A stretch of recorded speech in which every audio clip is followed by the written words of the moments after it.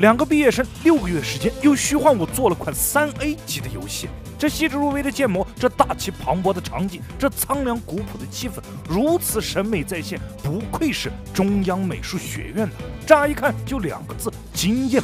还好这款叫做《万象门》的独立游戏，现在还只是个 demo，而且大部分是虚幻引擎中自带的资源，实际演示部分角色动作稍显僵硬，离真正的成品还差很多。不然这大厂又该挨喷了。不过呀，万象门只是个毕业作品，能不能最终做成游戏都还难说。就算是央美大神，也不可能在这么短的时间内做到尽善尽美，所以也不用要求太高。两位同学所在的央美城市设计学院，两年前才开设虚幻引擎课程，游戏方向的同学课程结束后，大多都能开发出自己的游戏，出来就是大厂的香饽饽。